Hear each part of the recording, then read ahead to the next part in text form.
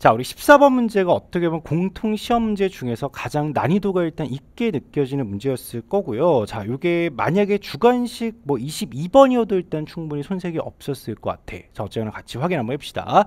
자, 두 개 양수 P랑 Q라고 일단 되어 있으니 숫자 조건 일단 잘 보셔야 되고, 자, 그냥 일반적인 3차 함수를 줬어요. 자 그리고 나서 어, 실수 전체 집합식 연속인 함수 g에 대해서 다음 조건을 만족시킬 때 그 p랑 q를 저는 구하자고 되어 있는데 자 이제 가번부터 일단 같이 한번 보면서 일단 갑시다. 모든 실수 x에 대해서 gx는 일단 연속이야.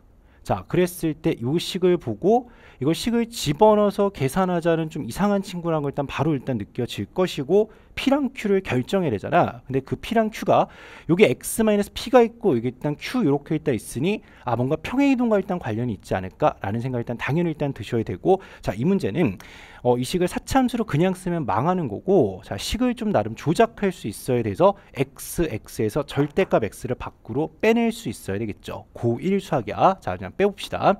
절대값 x를 바로 뺐어요. 괜찮아? 자, 그래서 여전히 절대값의 f에 x-p 더하기 자는 q다 이렇게 일단 써질 거니까 평행 이동된 3차 함수랑 이 절대값 함수 사이의 관계를 일단은 보자 이렇게 일단 나오시겠지. 자, 괜찮을 것 같아.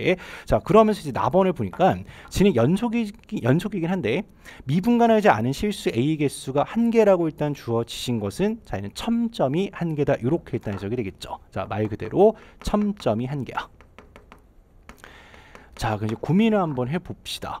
어, 이 식을 일단 어떻게 일단 받아들일까 해서 자 결국 이 함수가 평이동 될 거니까 얘는 일단 그래프를 그리거나 뭔가 일단 정리가 돼야 될 것 같아. 근데 그건 이제 나중에 일단 해보면 되시고 자 이거 일단 볼게요. 얘가 있고 얘가 있으니까 뭔가 나누고 싶죠. gx를 일단 만들어서 상태를 파악해야 되니까 자 먼저 요 전제를 깔게요. x가 0이 아닐 때로 전제를 까시고 자 그렇다고 치면 g의 x는 이제 x로 나눠도 일단 괜찮으니까 x분의 절대값의 x 해 놓으시고 자 나서 절대값의 f에 x 마이너스 p 더하기 q다 여기까지 일단은 잘 가시겠지? 지금 절대값 때문에 그냥 이러시면 되거든? x가 0보다 클 때 x가 0보다 작을 때 나눴을 때 자 식 한번 써보자. g의 x는요 얘는 x분의 x니까 그냥 1이 되겠지. 자 그럼 남는 것이 절대값의 f의 x-p 더하기 q다 이렇게 일단 써지고요. 자 얘 같은 경우는 x분의 절대값에서 어차피 마이너스 1이니까 마이너스의 절대값의 f의 x-p 더하기 q다 이렇게 일단은 가시겠죠. 자 구간에 따라 일단 정의를 함수가 일단 등장을 한 거야. 그래서 그렇다고 치면 자 이거 좀 심플하게 일단 보자. 저 gx라는 것은 x는 0을 기준으로 해서 얘랑 얘에서 전반적으로 부호만 일단은 반대거든. 그럼 이제 여기서 이제 확인할 거 식이 복잡하면 뭐 하시면 될까? 치환하시면 되니까 그냥 이렇게 하자. 이 안쪽에 있는 것을 그냥 제가 h의 x라고 일단 잠깐 치환을 할게요. 자 그렇다고 치면 오른쪽에선 절대값의 h의 x가 되시고 자 왼쪽에선 마이너스의 절대값의 h의 x다 이렇게 일단 되시는데 자 얘는 어차피 연속이 되셔야 되니까 0에서의 함수값이 일단 똑같아야 돼. 자 그래서 일단 연속 조건 일단 볼게요. 연속을 써주면 마이너스의 절대값은 h의 0. 자 얘랑 절대값 h의 0에서 같으셔야 되니까 결국 h의 0이 뭐가 될까? 그냥 0이다 이렇게 일단 결론이 나기도 하고 아니면 이럴 수도 있어 절대값은 어차피 0 이상이지 만약에 얘가 양수면 얘는 음수야 근데 끊기지 않으려고 치면 중간에 탁 뭐가 있어야 될까? 0이 있어야 되고 만약에 얘가 0이면 얘도 0이니까 중간에 0이 있어야 되니까 아 그럼 결국에 이 상태에서 G에 0이라는 것도 그냥 0이다라는 것을 바로 얻어낼 수가 있겠죠. 자, 연결 좀 맞춰지셔야 되니까. 자, 근데 문제는 이 함수를 어떻게 일단 다룰까 해서 h라는 것이 저 3차 함수를 무슨 이동시킨 걸까? 평이동시킨 건데 그림을 그려놓고 막 평이동을 시키지 마시고요. 차라리 뭐가 나을까? 그냥 축을 이동시키는 게 훨씬 더 빠르지 않을까 하면서 자 그림을 좀 잠깐 그려볼게 뭐 미분에서 일단 극대역수 다 잡아주시면 자 계산했다고 치고 잠깐 볼게요 얘가 이렇게 일단 극대역수 나올 것이고 자 극대는 마이너스 1에서 나오고 자 극소는 자 얘는 3에서 일단 나오게 돼. 근데 어차피 요 점이 3, 마이너스 39가 되고 얘가 마이너스 1, 마이너스 7이다. 이렇게 일단 되니까 얘를 막 P랑 Q만큼 일단 이동시키려고 하면 1이 일단 커지는 거야. 자 그러지 말고 저는 이제 확인 한번 해보자. 첫 번째. 함수가 이렇게 있다 있고 얘가 평행 이동된 상태라고 그냥 생각을 하자.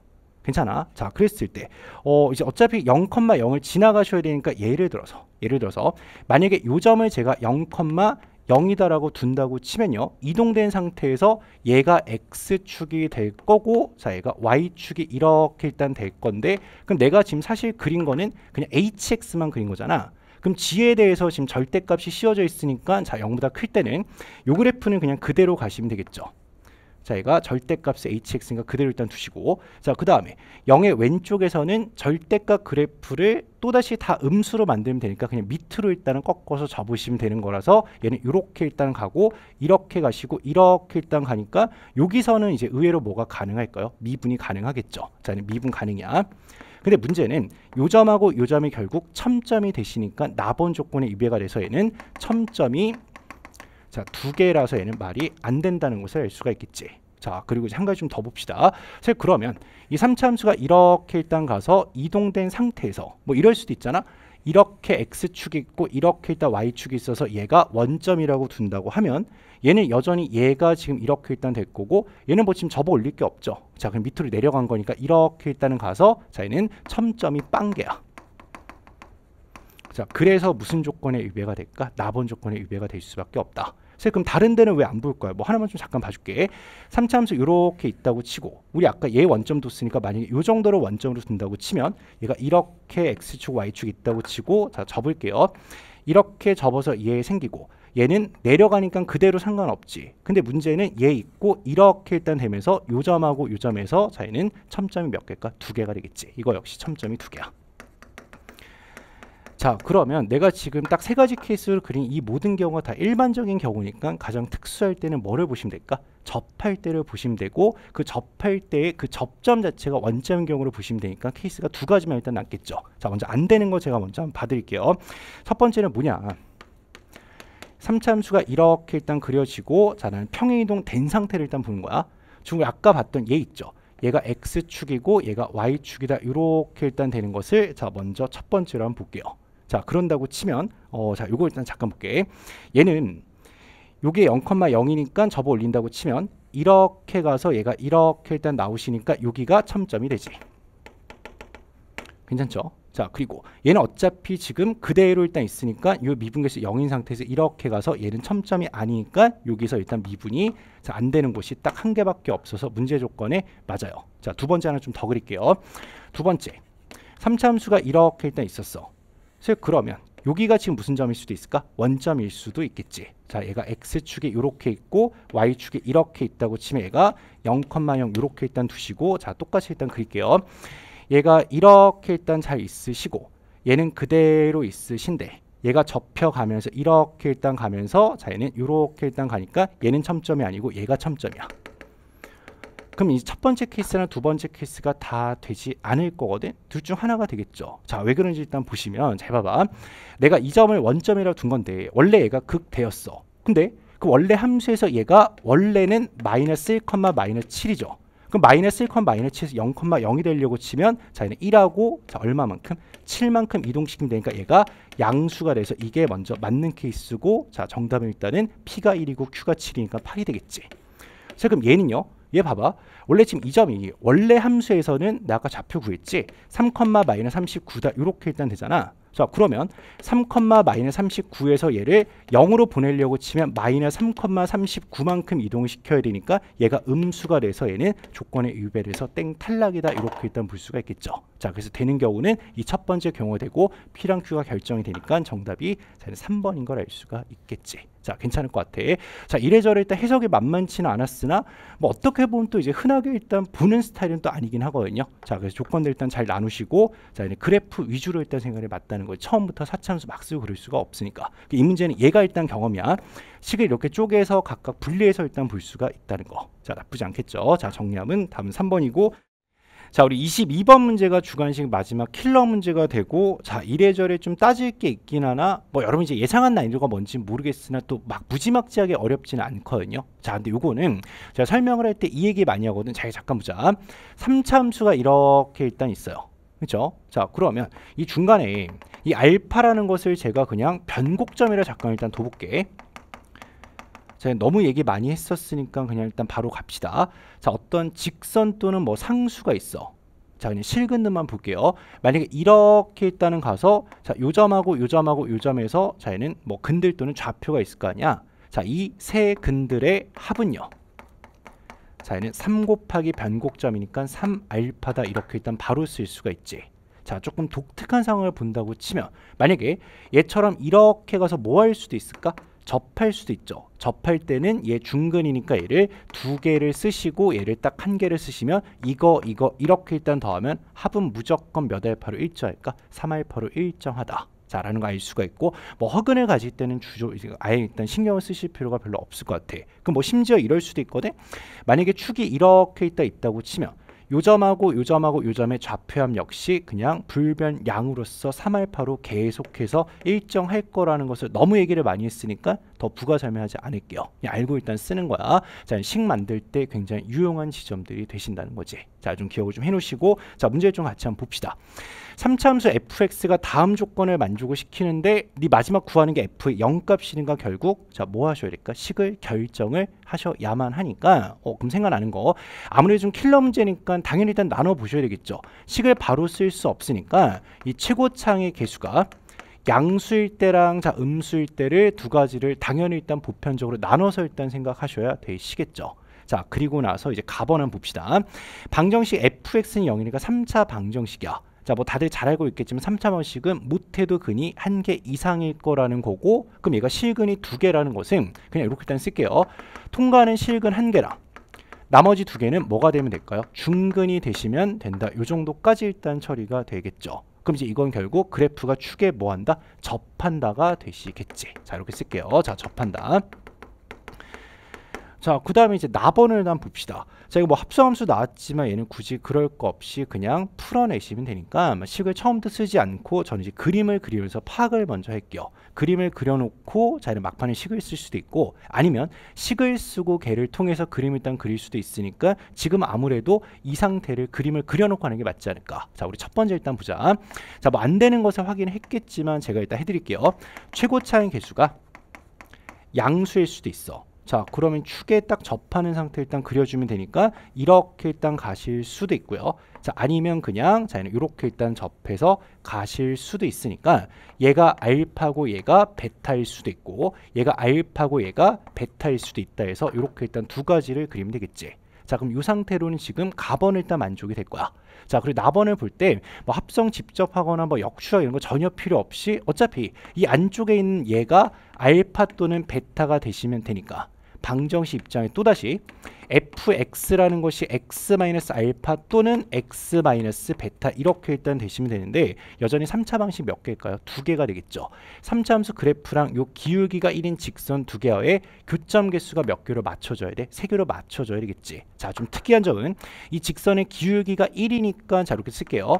기울기가 1이라는 것은 45도랑 관련이 분명히 있을 거라는 거 생각하셔야 되고 그 이 직선은 알파, 0 지나가고 베타, 0 이렇게 일단 지나가시니까 자 이제 그림에서 일단 해결합시다. 그럼 나는 이제 요거부터 떼볼게요. 요 점을 지나가는데 저 나름 또 이제 스스로 막 엄밀하게 생각하면서 이게 뭐 접할 때 지나갈 때 이렇게 나누면 바보예요.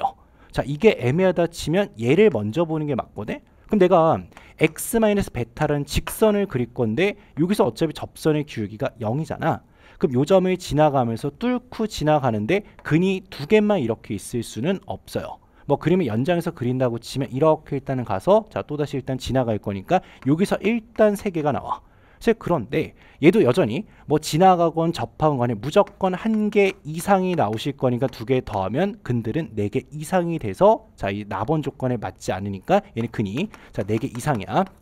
자 그래서 일단 맞지가 않겠지. 자 그렇다고 치면 얘도 일단 거의 비슷한 뉘앙스거든? 자 보세요. 요점 지나가면서 이렇게 일단 하면 여기서 일단 세 개가 나오시고 얘는 뭐 접할 수도 있고 뭐 통과할 수도 있으나 어쨌거나 절대 세 개가 될 수가 없으니 이거 역시 근이 네 개 이상이라서 자 이래저래 일단 안 된다. 그럼 더 볼 것도 없죠. 이 조건 아예 볼 것도 없이 그냥 자 나번에서 일단 걸러지고 최고창 기수는 절대 양수일 수가 없다는 거. 자 그럼 남은 거 뭐가 되겠어? 최고창에서 음수인 게 되겠죠. 자 두 번째 일단 볼게요. 최고창의 개수가 음수야 자, 여기에서 제가 안 되는 걸 먼저 일단 하나 좀 봐드릴게요. 자, 첫 번째 이럴 수 있어. 아까처럼 접하긴 하는데 얘가 이렇게 가서 자, 이렇게 일단 가는 경우가 하나가 있을 거고. 자, 그리고 이제 두 번째로 이거 하나 그릴게요. 얘가 자, 접하지 않고 이렇게 일단 하자. 통과하고 이렇게 일단 접할 수도 있어. 자 똑같이 얘가 알파고 얘가 베타가 되고요. 얘가 알파고 얘가 베타다 이렇게 일단 되고 어 이게 일단 보자마자 안 돼서 이거부터 일단 지적을 할게요. 자 보세요. 얘는 이제 뭐가 말이 안 되냐. 이 함수 값들을 보시면 얘가 f1이 4가 되고 그 다음에 f'1이 1이 되거든. 근데 지금 함수 전체에서 얘를 봤을 때 함수값이 양수인 부분은 얘밖에 없어요. 그렇죠? 자 그렇다고 치면 어딘가에 1,4라는 점을 반드시 일단 실존하셔야 되는데 여기서는 미분계수가 싹 다 무슨 수가 될까? 음수가 되니까 자 얘는 f'1이 아예 1일 수도 없을 거고 뭐 또다시 얘는 아예 따질 필요가 있어 없어? 없지. 그래서 얘는 이런 이유로 말이 안 되니까 얘는 나가신다는 것이겠죠. 자 괜찮을 것 같아. 자 그럼 이제 뭐 가능한 경우는 얘잖아. 근데 여기서 네가 생각한 그 경우가 답이 되는 거지 이게 되나 안 되나 일단 다 또 따지셔야 되니까 자 확인 한번 해볼게요. 얘는 이렇게 기울기가 1인 직선 그리면 여기서 일단 실근이 몇 개일까? 한 개야. 그렇죠? 자 그러면 여기서 한 개가 맞춰진다는 것은 나머지에서 몇 개가 맞춰져야 돼? 두 개가 맞춰져야 되고 두 개가 또다시 나오려고 치면 결국 자 얘는 저 직선과 뭐 하셔야 될까? 접할 수밖에 없으시다는 거고 여기서 어차피 미분계수가 자 0인 상태니까 그냥 이제 평행하다고 생각할게요. 요 점을 지나면서 이렇게 일단 가고 자 뭐 얘를 보정하면 이렇게 가는 상태가 되시면 얘 하나 나오고 두 개 나오고 이렇게가 접하니까 세 개가 토탈 다 나올 수밖에 없겠지. 하고 여기에서 일단 별 문제 없이 갔을 거야. 자, 내가 이제 한 가지 좀 이제 그림을 좀 다시 한번 그릴게. 이거는 좀 크게 그려서 좀 확인을 좀 해드릴게요. 자, 보세요. 얘가 이렇게 일단 접하시고, 자, 여기서 변곡점이 있을 거고, 이렇게 일단은 가서 알파 베타를 만들었어. 자, 이건 이제 안 그릴게요. 자, 접선만 그냥 그릴게. 여기서 이렇게 가는 접선에서 기울기가 1인 상태가 되고 얘가 x 알파다라고 두자. 자 이게 일단 답이 되는 상황이 맞긴 하지만 자 좀 따질 게 있어요. 그러니까 학생들은 어떤 과정을 했었냐면 얘가 어차피 직선 위의 점이고 자 기울기가 1인 상태니까 아 얘가 1,4다에서 자 얘는 이렇게 일단은 딱 떨궜을 때 직각 이등변 사각형 나올 거니까 뭐 상황이 맞죠. 한번 봅시다. F1이 4인 거고 여기서 미분계수가 1이고 그 F'0이 이제 1보다 큰가 아닌가는 계산을 해보면 아는 거니까 아직은 잘 모르겠어. 근데 사실 뭘 따졌어야 되냐면 얘가 이럴 수도 있거든. 자, 이 그림 다시 한번 보세요. 비교라는 거야. 얘가 이렇게 접하시고 변곡점 나오고 이렇게 일단 들어가셨는데 접선의 기울기가 1인 점이 자, 얘는 얘만 있는 게 아니고요. 변곡점에 대해서 또 뭐일 수도 있을까? 대칭일 수도 있어요. 자 그렇다고 치면 뭐 여전히 얘가 알파가 되고 얘가 베타다 이렇게 일단 갔을 때 우리 아까 그랬던 이거에서 얘가 이렇게 일단 가시고 자 요 점이 그냥 뭐일 수도 있을까? 1,4일 가능성도 사실은 있다는 거야. 얘가 1,4야. 근데 이건 이제 뭐가 말이 안 되냐. 이거는 이제 요거에서 일단 나가게 되거든요. F prime 0이 절대 1보다 클 수가 없어요. 자 왜 그런지 보자. 1과 0에 관해서 0이 일단 1보다 더 작죠 그럼 여기서 미분계수 계수 음수고 0이고 자 얘는 양수가 되긴 하지만 여기에서 미분계수가 1이니까 여기서 미분계수가 다 뭐가 되겠어? 1보다 작을 수밖에 없으니까 얘는 f prime 0이 1보다 크다 이게 모순이 되니까 얘는 그냥 나가게 되고 안 된다 이걸로 일단 결론이 나시겠죠. 자 괜찮아. 자 그럼 이제 답을 일단 써야 돼. 그럼 이제 한 이제 답을 일단 잡아볼게요. 알파 접하고 베타 일단 지나가고 최고차항 계수 일단 구하시면 되니까 값들을 일단 최대한 일단 구해내는 게 빨라. 그럼 여기서 막 계산하는 게 아니고 우리 아까도 이 얘기했었잖아.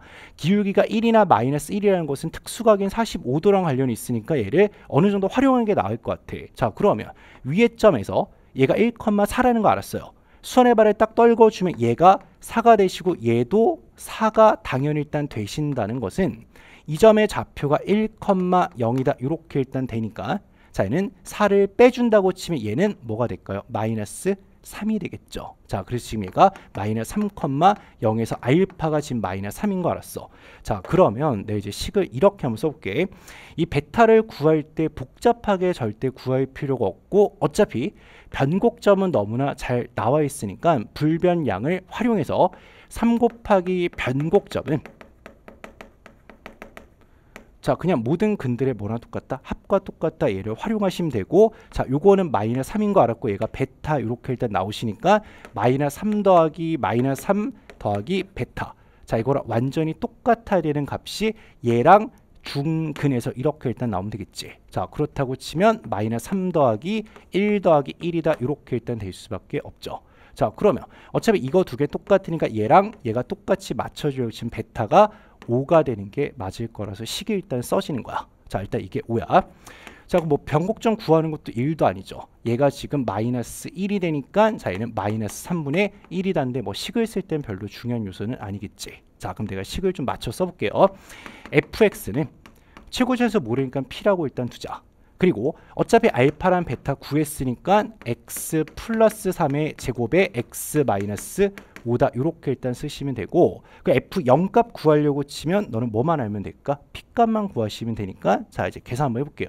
p값 구하려고 치면 안 쓴 거 뭐밖에 없어? 얘밖에 없지. f1이 얼마? 4가 되니까 x에다 1을 넣읍시다. 4가 되시고요. p에다가 자 얘는 16에다가 자 얘는 마이너스 1 해서 자 얘는 어, 1을 넣으면 얘가 마이너스 4죠. 자, P값이 결국 마이너스 16분의 1 이렇게 일단 되시니까 식이 완성이 되고 F의 0은 그냥 넣어야지 뭐. 마이너스 16분의 1에다가 자 9에다가 5 이렇게 일단 돼서 마이너스 16분의 45다 이렇게 일단 될 수밖에 요게 잠깐만 마이너스 이렇게 돼서 이렇게 일단 되겠지. 자 그래서 얘는 16분의 45가 되시고 더 이상 약분이 되지 않으니 자두 개 더해주시면 정답이 61이라는 것을 알 수가 있습니다. 자, 괜찮을 것 같아. 자, 그러면 그 제가 유란할 때 3 곱하기 변곡점 막 얘기하면 이거 뭐 언제 쓰, 쓰잖아. 그치? 좌표 알았는데 최고야. 자, 근데 알고 쓰시면 되고, 자, 이 정도 해결은 나쁘지 않을 것 같아요. 근데 뭐 결론적으로는 얘를 이렇게 일단 걸은 거야. 여기서 안 되니까 여기서 일단 되는 거고 그 다음부터는 일단 아예 볼 필요가 있어 없어? 없지 그치? 그래서 계산해서 넣어보시면 당연히 f prime 0 역시 1보다 크다는 게 확인이 되지만 네가 또 해볼 필요는 없다는 거죠. 자 괜찮을 것 같아. 케이스 나누시고 이 정도로 22번 나오면 시험장 해볼 만할 것 같아. 자 그렇게 일단 생각합시다